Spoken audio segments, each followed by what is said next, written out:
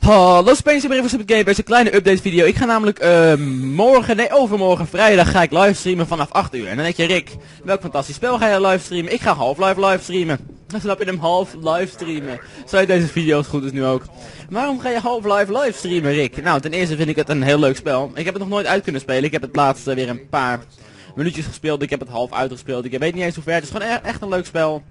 En je hoort ook heel veel gezeik ook van, uh, wanneer komt Half-Life 3 of episode 3? Dat weet, mensen weten het zelf niet eens, maar ik ga Half-Life 2 uh, en dan die andere twee episodes gewoon daarna ga ik gewoon in één keer spelen. Ik ga gewoon uh, non-stop doorspelen. Ik heb toch twee treetjes energy staan.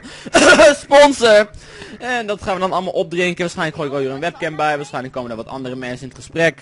En zo. Dus gewoon vanaf 8 uur tot en met ik het spel heb uitgespeeld. Ik hoop dat ik veel steun krijg van mijn fans. Maar als er één iemand komt kijken, ik hou heel veel van je. En dan maken we misschien nog wat kinderen. Weet je, dat kan.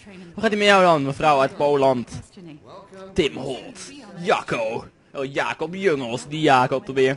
Nou, bedankt voor het kijken van deze kleine update video. Ik hoop dat jullie allemaal komen vrijdagavond vanaf 8 uur, de half livestream. ik moet zelf wel heel erg lachen om die grap. Oké, tot dan. Doei!